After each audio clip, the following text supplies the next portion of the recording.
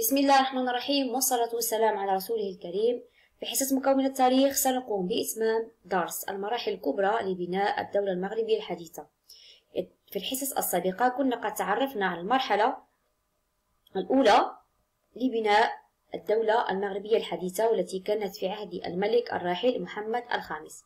كما تعرفنا كذلك على المرحلة الثانية في بناء الدولة الحديثة والتي كانت في عهد الملك الراحل الحسن الثاني. أما عن حصة اليوم بحول الله فسنتعرف على المرحلة الثالثة لبناء الدولة الحديثة والتي في عهد الملك محمد السادس.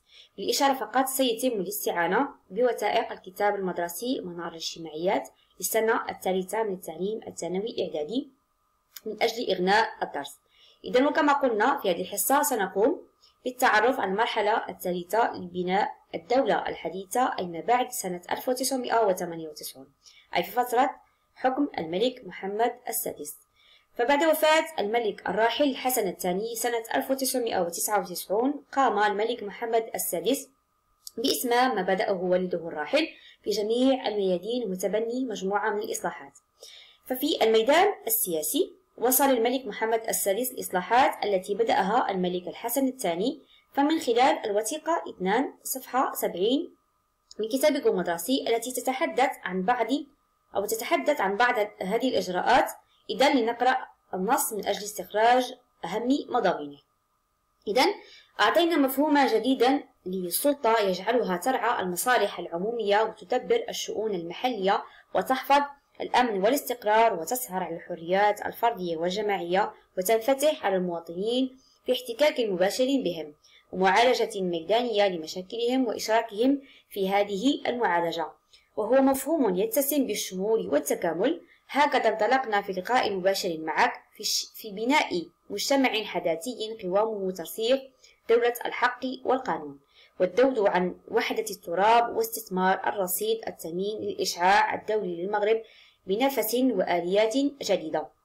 إذا النص مقتطف من خطاب صاحب الجلالة الملك محمد السادس بمناسبة عيد العرش في 30 يوليوز لسنة 2000 لنستنتج من النص أنه يتحدث عن المفهوم الجديد للسلطة التي ترعى المصالح العمومية وتدبر الشؤون المحلية وتحفظ الأمن والاستقرار وتسهر على الحريات أو حقوق الإنسان وكذا الحريات الفردية والجماعية التي تنفتح على المواطنين وفي احتكاك مباشر بهم معالجة ومعالجة ومعالجة ميدانية لمشاكلهم وإشراكهم في هذه المعالجة. كما يتحدث النص كذلك على ترسيخ دولة الحق والقانون والمقصود بهذه الأخيرة هي دولة يتم فيها تطبيق القانون على الأشخاص والسلطات العمومية وقراراتها من طرف السلطات المختصة. كما يتحدث النص كذلك على الدفاع عن وحدة التراب واستثمار الرصيد الثمين للإشعاع الدولي للمغرب بنفس وآليات جديدة والتي تخدم مصالح أو تخدم أهداف ومصالح بناء الدولة المغربية الحديثة. كما تتحدث الوثيقة ثلاثة عن الإجراءات التي تخص كذلك الميدان السياسي. إذا فالجدول الوثيقة ثلاثة تتحدث عن خطوات تعزيز الديمقراطية في المغرب. ففي سنة في ففي 9 مارس لسنة 2011 تم آه، إلقاء الخطاب الملكي القاضي بترسيخ آه، ترسيخ مبادئ الديمقراطية وتعديل الدستور. بينما في 1 يوليوز لنفس السنة تم المصادقة على الدستور الجديد باستفتاء شعبي. وفي 25 نوفمبر لنفس السنة أي سنة 2011 تم إجراء الانتخابات التشريعية وتكليف الأمين العام لحزب الفائز أي حزب العدالة والتنمية بتشكيل الحكومة.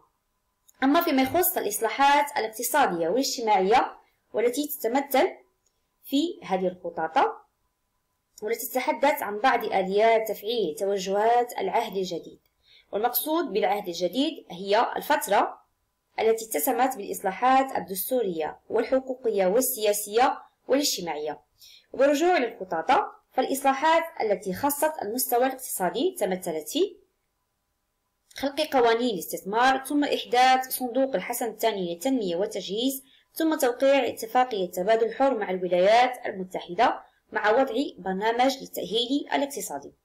بينما الإصلاحات على المستوى الاجتماعي تتمثل أو تمثلت في إحداث مؤسسة محمد الخامس للتضامن لسنة 1999 ثم إحداث صندوق التنمية الاجتماعية لمحاربة الفقر مع وضع برنامج الأولويات الاجتماعية التي تخص السكن وإنعاش العالم القروي والصحة ثم تفعيل دور المجتمع المدني وإشراك المرأة في الأنشطة التنموية ثم خلق المبادرة الوطنية للتنمية البشرية في 18 ماي لسنة 2005 أما فيما يخص الإصلاحات المؤسساتية والتشريعية والتي تتمثل بالخطط التالية مؤسسيا تم إعادة هيكلة المجلس الاستشاري لحقوق الإنسان لسنة 2001 ثم إحداث ديوان المظالم لسنة 2001 كذلك ثم إصلاح القضاء آه، المحاكم الإدارية والتجارية ثم إحداث المعهد الملكي للثقافة الأمازيغية لسنة 2001 بينما تشريعيا تم تم آه، خلق ميثاق الوطني للتربية والتكوين سنة 2000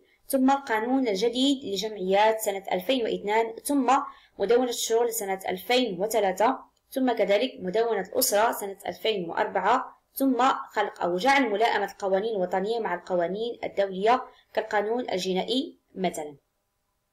لنستنتج من خلال هذا الدرس أو درس هذا اليوم أن الإصلاحات التي قام بها الملك محمد السادس لا زالت مستمرة ولا زالت تركز على ترسيخ الديمقراطية وتقوية الاقتصاد الوطني وتحسين المستوى الاجتماعي. إذا بعدما تعرفنا على درس حصة اليوم ستقومون بكتابة ملخص في دفاتركم